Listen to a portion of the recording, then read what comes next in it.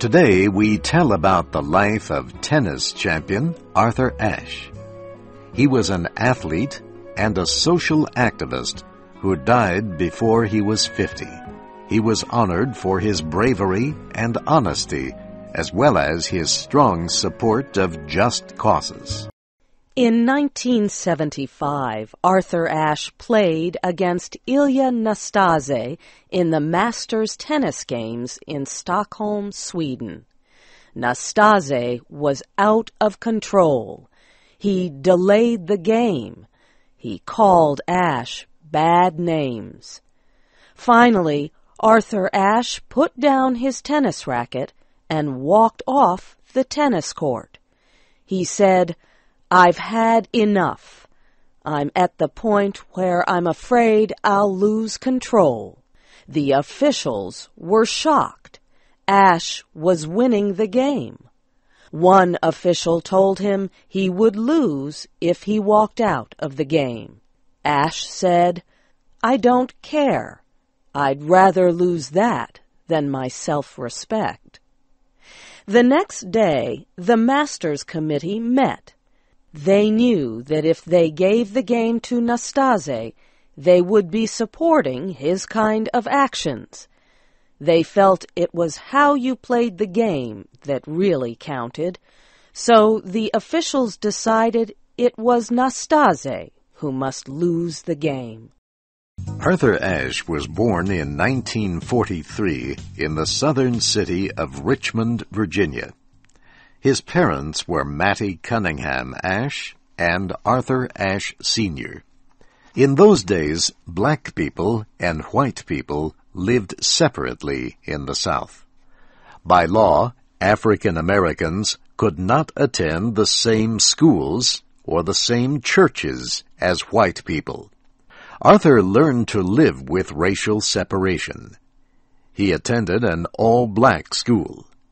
He played in the areas kept separate for blacks. And when he traveled to his grandmother's house, he sat in the back of the bus behind a white line. Only white people could sit in the front part of the bus. Tennis was a sport traditionally played by white people. Arthur's experience was different from most other tennis players. He grew up under poorer conditions. His father worked several jobs at the same time, and his mother died when he was six. Mr. Ashe taught his son the importance of leading an honorable life. He said a person does not get anywhere in life by making enemies. He explained that a person gains by helping others. Arthur Ashe Sr. taught his son the importance of his friends, his family, and his history. He said that without his good name, he would be nothing. By example, Arthur's father taught the importance of hard work. His job was to drive people where they wanted to go and he did other kinds of jobs for several wealthy families. When Arthur was four, his father was given responsibility for a public play area called Brookfield. It was the largest play area for black people in the city of Richmond. Mr. Ashe continued to work at his other jobs as well. The family moved into a five-room house in the middle of the park. Arthur could use the swimming pool, basketball courts, baseball fields, and tennis courts in the park. He liked sports. He was not very big, but he was fast. Arthur began playing tennis when he was seven years old. He was very small. The racket he used to hit the tennis ball seemed bigger than he was. But by the time he was thirteen years old, he was winning against players two times his size and age. Arthur had great energy and sense of purpose. He would hit 500 tennis balls each summer day early in the morning. He would stop to eat his morning meal. Then he would hit 500 more tennis balls. When Arthur was 10 years old, he met Robert Walter Johnson. Dr. Johnson established a tennis camp for black children who were not permitted to play on tennis courts for whites. Dr. Johnson helped Arthur learn to be calm while playing tennis. He taught him to use restraint. He said that anger at an opponent was a waste of energy. By 1960, Arthur had won the National Junior Indoor Championship, and the University of California at Los Angeles offered him a college education if he played for the UCLA tennis team. In 1965, Arthur Ashe led the team to the National Collegiate Athletic Association Championship. He completed his education the next year with a degree in business administration. Arthur Ashe then became a professional tennis player. In 1968, he won the United States Open. It was the first time an African American man had won one of the four major competitions in tennis. In 1970, he won the Australian Open. The next year, he won the French Open Doubles Championship with Marty Riessen. And in 1975, he won the Wimbledon Singles Championship in England. Two times, he was named the number one tennis player in the world. Throughout his life, Arthur Ashe fought against social injustice. He supported racial equality and tried to bring blacks and whites together. In 1973, Ashe was the first black player to be invited to compete in the South African Open. At the time, South African laws separated people by race. Ashe knew why he was invited. He knew that the South African government was trying to change its image so it could take part in the Olympic Games.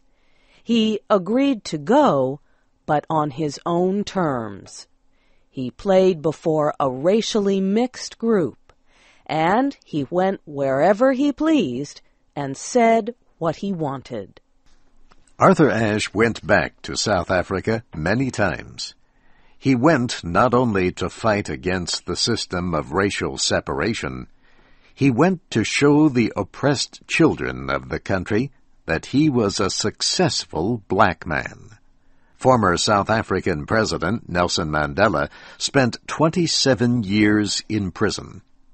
After his release, the first person Mandela asked to see during his visit to the United States was Arthur Ashe. Ashe used his fame to help increase public knowledge of racism in America. He told reporters how the color of his skin kept him out of tennis games as a boy in Richmond. He spoke against black separatism. He wanted to unite the races, not separate them. During his travels with the United States Davis Cup team, he said, People in other countries read a lot about race troubles in the United States, but when they see two guys from the South, like Cliff Richey and me, one white and one colored, both sharing a room and being close friends, it must do a little good. In 1977, Arthur Ashe married Jeanne Moutoussamy. They shared a deep concern for others. Ashe always urged people to do their best, even his opponents. To help others, he started an organization, the Safe Passage Foundation. It helped poor children develop the skills to learn, and it taught them how to play tennis and golf. In 1979, Ashe felt severe pain in his chest. He had suffered his first heart attack, even though he seemed in excellent physical condition. His days of playing tennis were over. Doctors operated on him later that year to try to improve the flow of blood from his heart but his physical activity was very limited. Four years later, he had to have another operation. Now that he could not be active in sports, he took on new responsibilities. He helped the American Heart Association educate the public about heart disease. He wrote books, and in 1986 he became a father when his wife Jeanne gave birth to their daughter, Camera. Two years later, Arthur Ashe faced his final struggle. He discovered he had the virus that causes the disease AIDS.